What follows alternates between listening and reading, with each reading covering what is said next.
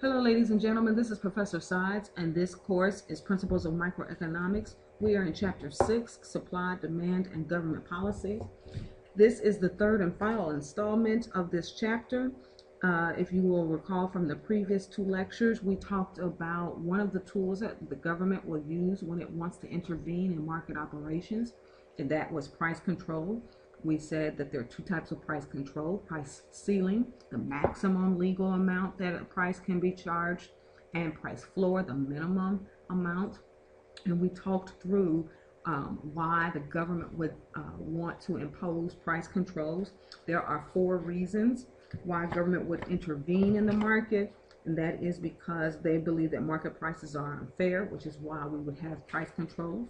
And as you will recall, you know we saw that when the government comes in, because they think prices are unfair and they create this policy, this price control policy, sometimes there are um, the policies themselves will create their own unfairness in the form of um, rationing.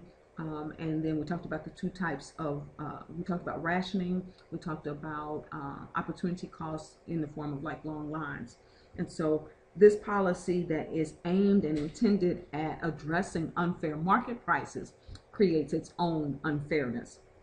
Then we talk through um, the second reason for government intervention would be that resources need to be protected.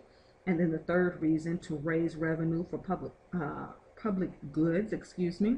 Um, and then we talked about what public goods are. That's parks, national security, public education, sometimes public transportation. Um, and then the fourth reason is to influence the market with a specific outcome. And we talked through um, public goods being, again, parks, national security, uh, public transportation, public education, and those are goods that and services that you and I enjoy together. Um, you can enjoy it, and I can enjoy it, and it's one. It's not at the expense of of another and so they're not mutually exclusive. Now, that was the first two lectures. This lecture, we're going to focus in on the second tool that the government uses when they use, excuse me, when they want to um, intervene in the market operations. And we're going to um, talk through taxes. And we're going to talk through the purpose for having taxes. And we're also going to talk about the effects of taxes we uh, we will analyze the effects and how taxes are um, used to intervene um, by using um, our market for pizza, and we're going to talk about um, how taxes are levied, its effects, and but before we do, we need to again look at the market before the government intervenes. Remember our market diagram. We have our price, and we have our quantity the supply would be the pizza supplier. For example, Papa John's, uh, Pizza Hut, Pizza Inn, um, Pizza Patron, um, whoever would sell the pizza. And then the demand is you would I, the consumer. And before government intervention, equilibrium without the tax, before the government intervention, we would negotiate through the market how much to pay for a pie, a pizza pie. And so when we negotiated, we we um, agreed that ten dollars would be an acceptable price to pay for, say, a large pizza. And um, at ten dollars, there are 500 cons consumers who are willing and able to buy that pizza. So the market agreed on the market price or equilibrium price, which is $10, and the market quantity or equilibrium quantity, which is 500. Now, once the taxes are imposed, the government comes in and they decide they want to impose um, a tax, we must look at what happens. If the buyer um, must pay for the taxes, because we have to first decide who's going to pay the taxes. Are we going, is the government going to put the tax burden on the buyer or are they going to put it on the seller? So if the ta- if the government decides to tax the buyer and the seller wants to maintain its um, price, I mean, it maintain its quantity, in order for it to maintain its quantity of 500, then the supplier would have to lower their price from ten dollars to eight fifty. This would cover the the the tax, but it would also um, cause the demand curve to shift.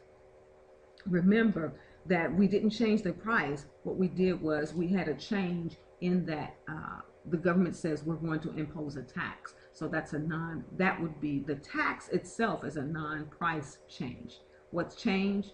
But the, even though it's a non-price change, it did affect price. It caused the price to lower, to be lowered. Since the, um, since the tax, again, since the tax increase is a non-price change, this causes the demand curve to shift, causing the price to again drop.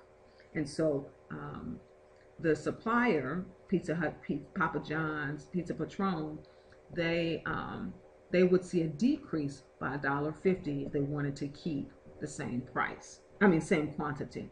But as you know, in reality, that's not generally what happens.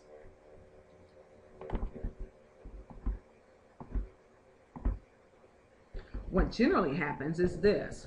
We still have uh, we still have a shift because the tax is a non is is non-price change. Now um, let me make this distinction. When we talk about a change in price the change in price comes not from the seller or um, from the seller but it comes from the government and so if the seller had changed the price if the seller had changed the price from $10 to, an to $11 for whatever reason, then we will see movement on the demand curve. But because the change in price is due to a tax, which is external to the, external to the market, that is what would cause the shift and not the movement. And again, the reality is that the price will rise to cover the tax. So basically what would end up happening is uh, Papa John's would raise their price from $10 to $11. And then what, what would happen is that we would see a decrease in demand from 500 to 450. And then uh, the buyer is taking the brunt of the tax. Their, their, that extra, dollar extra would go towards the tax. But then the seller would receive 50 cents less. So that covers the $1.50 tax. Where, and so as you can see, that um, both the buyer, even though the tax is levied on the buyer, the reality of it is is that both the buyer and the seller lose out. The buyer because they have to pay more for the for the pizza, the seller because they receive less for the same pizza. Now let's shift gears, and if we looked at um, placing the tax burden on the seller, Again, this is a non-price change, so then that would cause the supply curve to shift.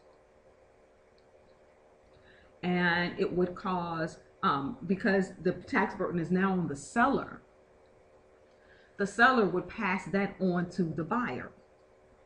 And so, um, so that they would not lose out. When the tax burden was left on, was placed on the, on the buyer, the buyer saw an increase in price, but the seller also took a hit. If the tax burden is put on the seller, then the the the the seller will pass on the entire tax burden onto the buyer. And as you can see, the, the price of the pizza went from $10 to $11.50.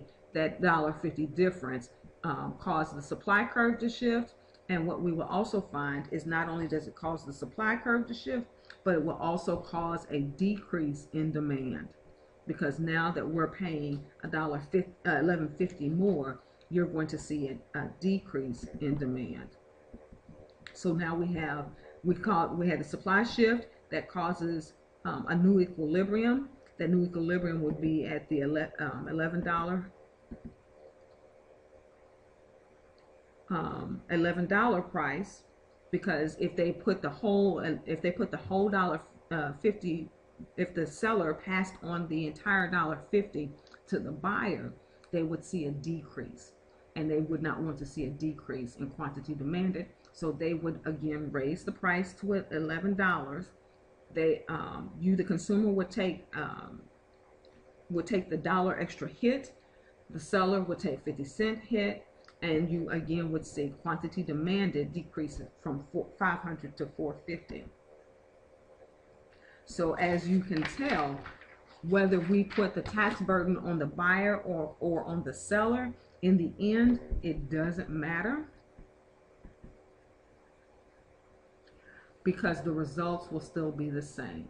And a tax, what the tax ends up doing, even though its intent is to fund uh, revenue, provide revenue for the government so that the government can continue to operate for the betterment of its citizens, the tax in reality drives a wedge between the buyer, the price that the buyer pays, and the price that the seller receives. Now, when we look at the effects of taxes, there's three steps to determine what what the outcome is going to be. So, and these are things that policymakers in general think about when they decide that they want to impose a tax on its citizens. First, they have to look at will it by imposing this tax will it will it affect supply or demand? Then the second thing that they need to consider is which way would that cause the curve to shift? Which way would that cause the supply curve to shift? Which way would it cause the demand curve to shift? And then after at number three, then we determine, examine how the shift affects price and how it affects quantity. And so all of that is considered when government, um, government, government policymakers will have economists that will help them um, will help them, excuse me, will help them um, determine what the effects are so they can make their decisions. The economists would advise them to help them make better decisions on whether or not to impose taxes. This concludes the lecture for chapter six. I look forward to speaking with you about uh, what's going on in this chapter in class. Remember your assignments and I will see you later with the next chapter. Thank you.